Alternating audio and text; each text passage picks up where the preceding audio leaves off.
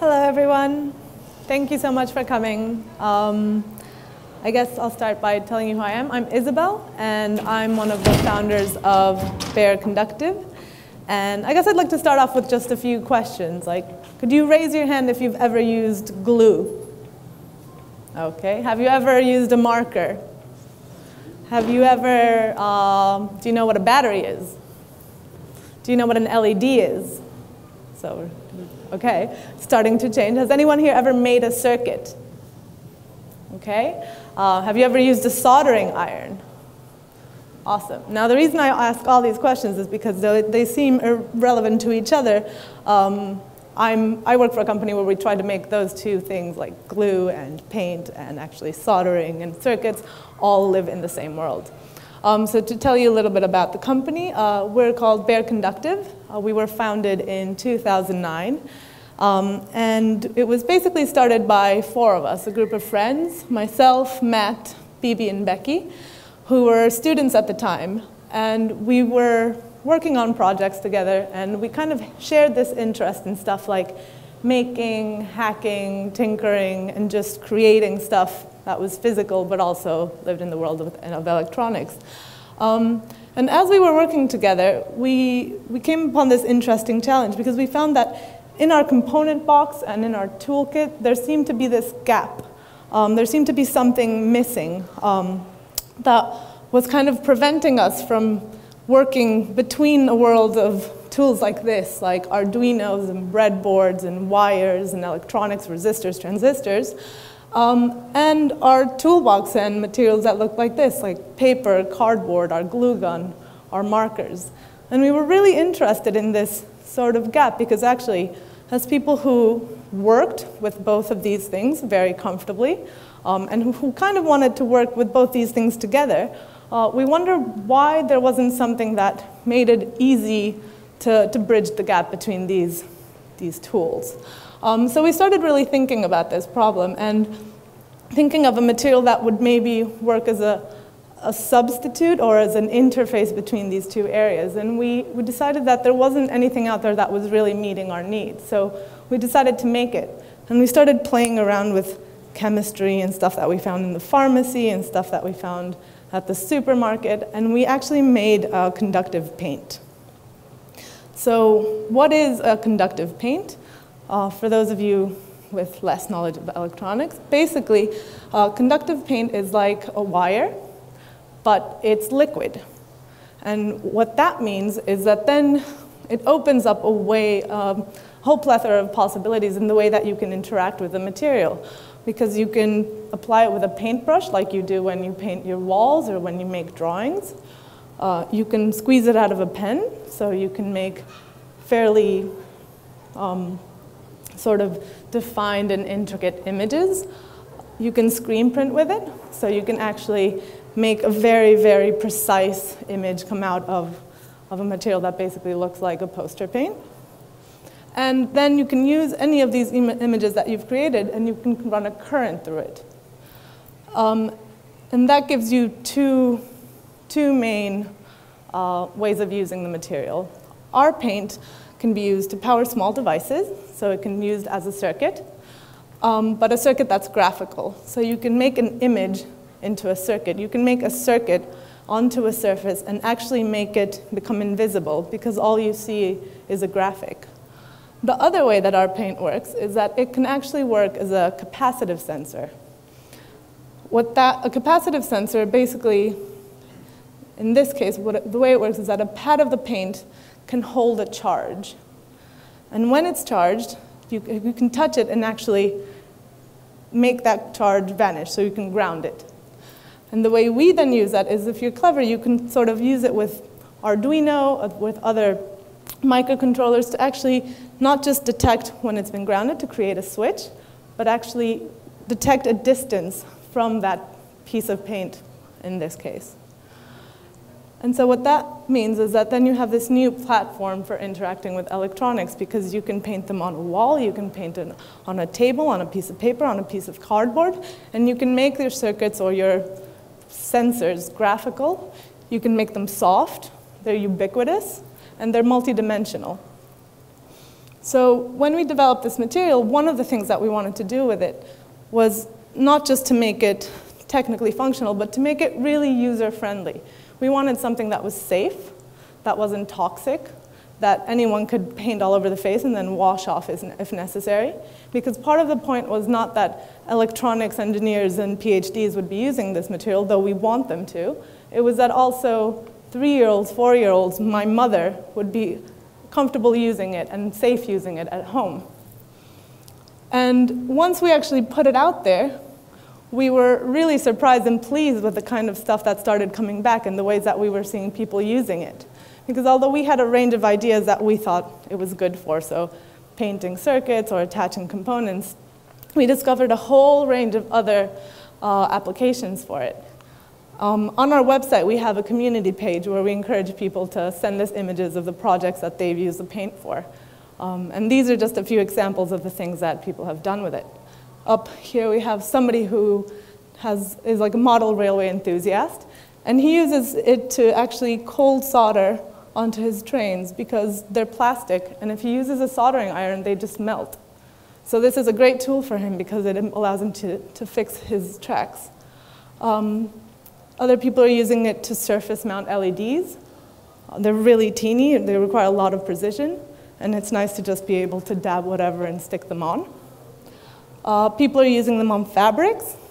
The material is fairly flexible, and because you can screen print on it, then that allows you to play with wearables and e-textiles. We had a group of people who actually used it in liquid form, which is really interesting because they created a tilt switch so that you had two wires inside this glass jar and the paint was just floating as a blob inside. So as you move the jar sideways, if the blob basically covered the two, the two connection points, it would turn on the light. A lot of people are using it with Makey Makey. Does anyone know what Makey Makey is? Well, it's an amazing uh, project, I believe from the MIT Media Lab, where they created this very easy instrument to sort of create um, touchpads from anything that conducts. So you can attach it to a banana, you can add, attach it to pepper, you can paint a pad of our paint and actually make a musical instrument. So it's really fun and it's really easy for children to start to engage with electronics. Um, we've had people use it in three-dimensional form. These blocks were painted with um, different combinations of paint, and so depending on the 3D structure that you built, it would generate different sounds.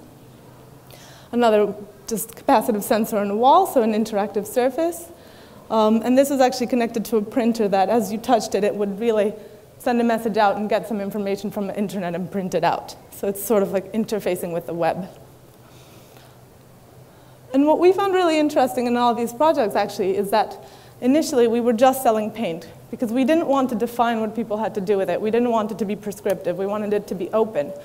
And we actually found that the people who were using it were still the people who knew how to use really sophisticated electronics because it was still too open. So we decided, okay, we have to make it easier for people who've never played with electronics, who are intimidated by electronics, to sort of approach this. And so we generated some kits that come with a pen and just the most basic uh, components that you need. The one on the left basically has some cards, and they allow you to make a simple circuit, a circuit in series, a circuit in parallel by drawing.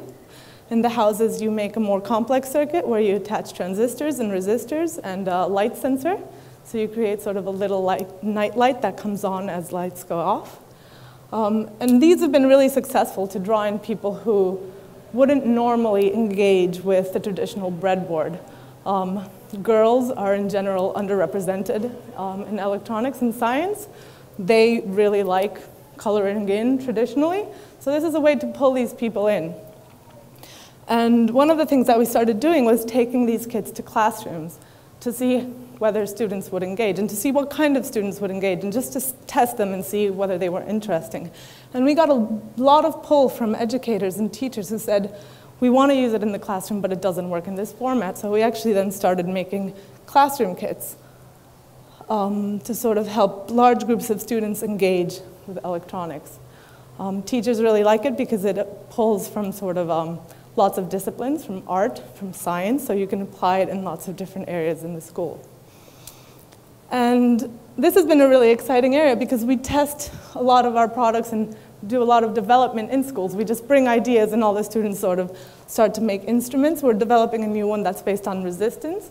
So students can make different sounds and create instruments using the paint.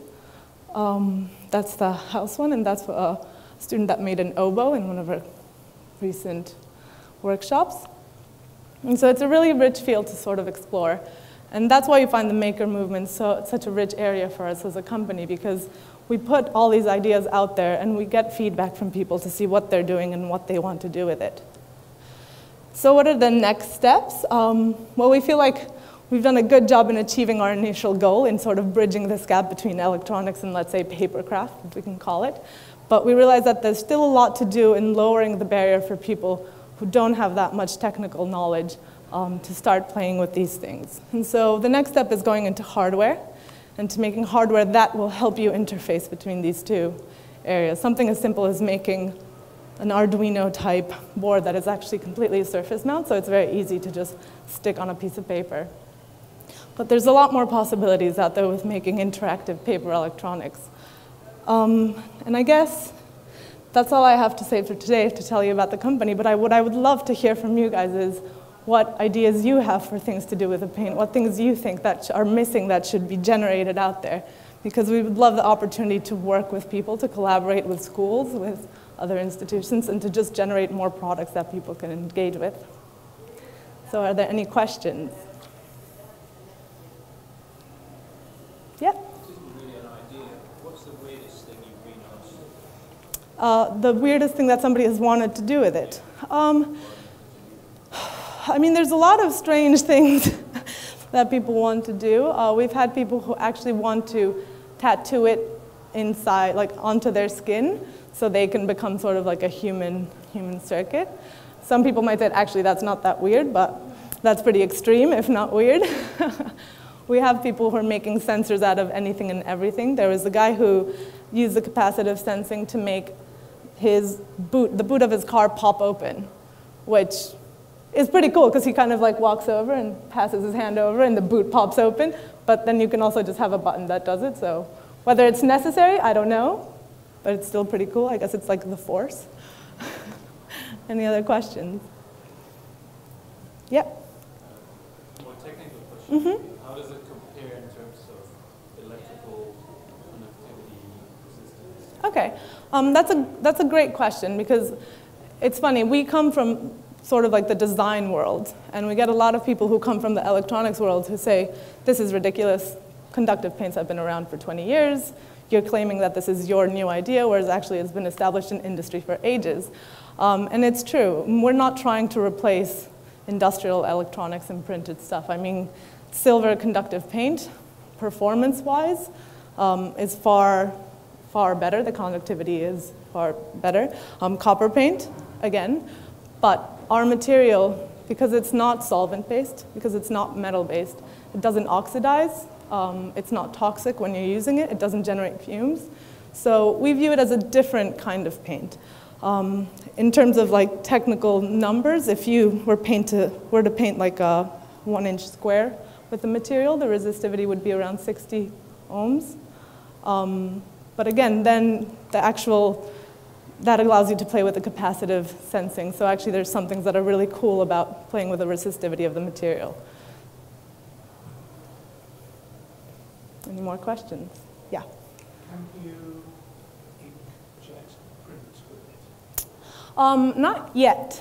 Um, that's one of the things that we really want to do because obviously it's great having people painting it with a brush or with a pen and I'm sure there will always be applications where that's what it, it's needed.